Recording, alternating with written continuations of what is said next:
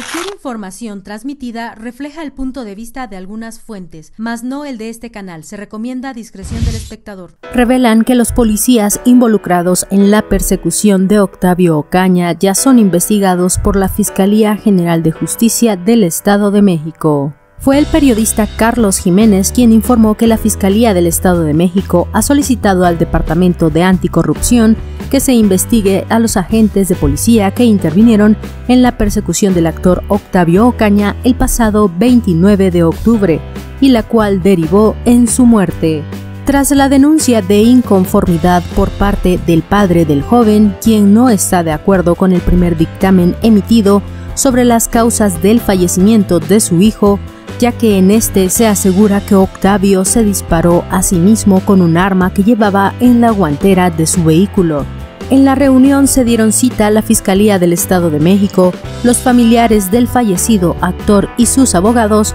con la finalidad de acordar la cooperación total en la investigación y tengan acceso a la carpeta de investigación e incluso puedan analizar las pruebas toxicológicas realizadas a Octavio con sus propios especialistas y así terminar con las especulaciones sobre el caso. Cabe señalar que los miembros de la Policía del Estado de México que están siendo investigados son acusados de haber disparado en varias ocasiones a la camioneta del actor mientras lo perseguían, de no haber dado los primeros auxilios al joven cuando aún se encontraba con vida, de haber ensuciado la escena del crimen, de sustraer artículos personales del joven como el celular y una cadena de oro, e incluso hay quienes sospechan que pudieron haber filtrado el video donde Octavio aparece consumiendo sustancias ilícitas. Suscríbete al canal y te espero en el siguiente video.